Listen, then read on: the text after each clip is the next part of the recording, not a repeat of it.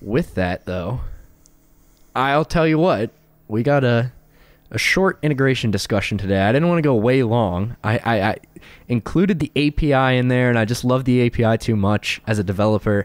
I was going to go way long, so I thought, all right, why don't I just start with user authentication and ACLs?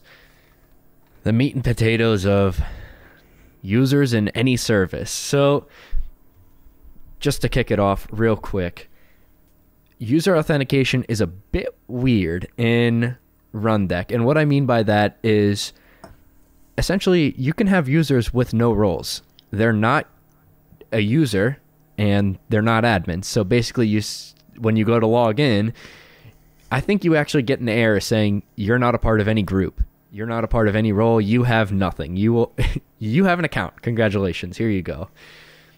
So what you need to do is go in to I'm gonna I'm gonna have to pull it up here.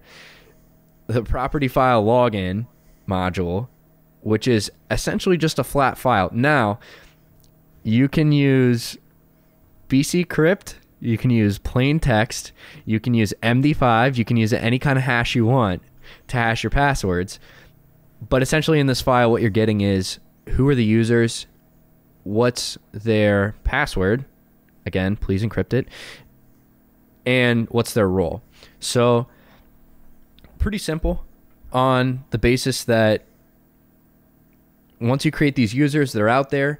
They have defined scopes. Basically, if you're an admin, you essentially can define a role for you have access to everything. As a user now, you, kind of get into these ACLs, right? You you get into your access control list. Who has access to what?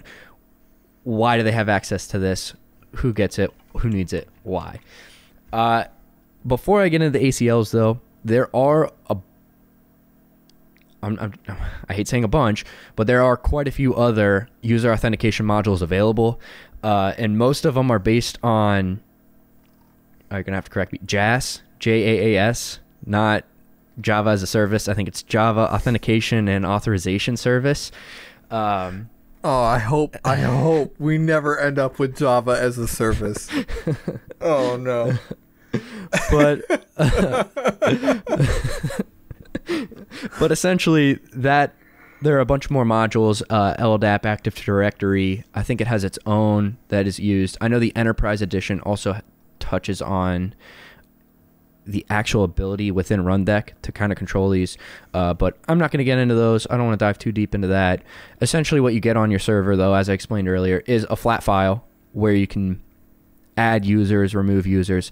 And what we want to be able to do with Portal is from Portal, you're going to have in within the Rundeck service configuration, you're going to be able to add and remove users and at a base level, that's all you need to know, right? But on the back end, essentially what we're going to be doing is modifying this flat file. And of course, we'll be using encryption for this. Uh, now, to get into the ACLs, let me take a breath here because the ACLs in Rundeck are and can be as granular as you want, as complex as you want. You can limit people to doing one thing, you can limit them to doing everything. It's at a basis level.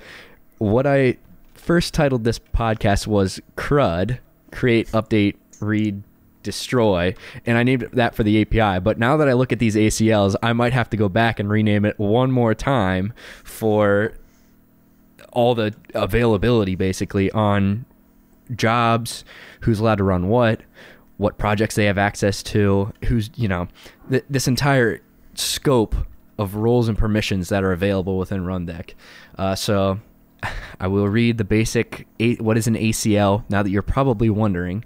Uh, Rundeck Access Control Policy grants users and user groups certain privileges to perform actions against Rundeck resources like projects, jobs, nodes, commands, and the API.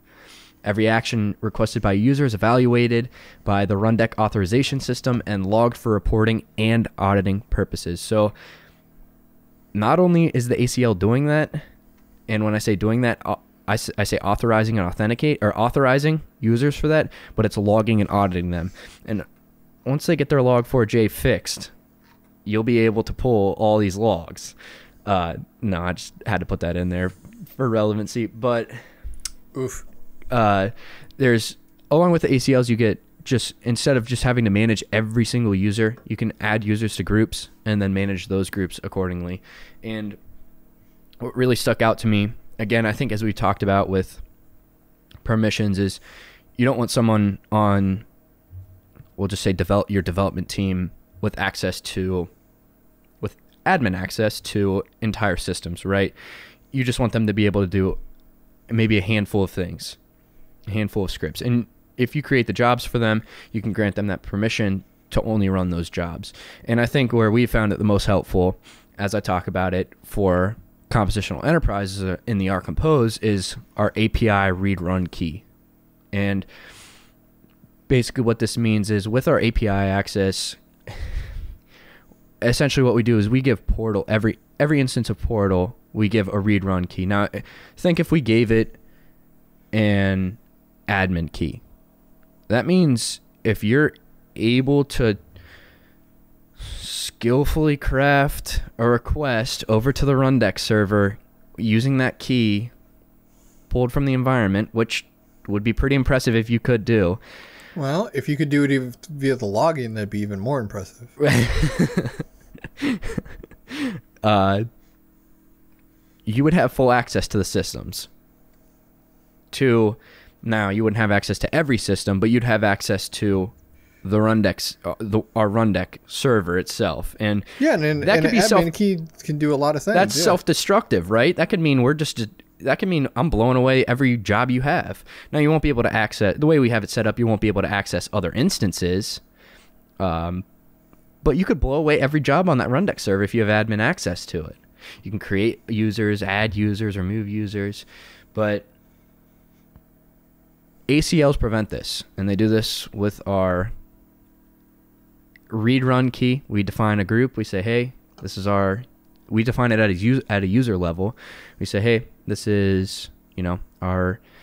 I think we call it OurCompose API, our RO uh, for read only, and then we give it the permissions to just read and run, read output from jobs and run jobs.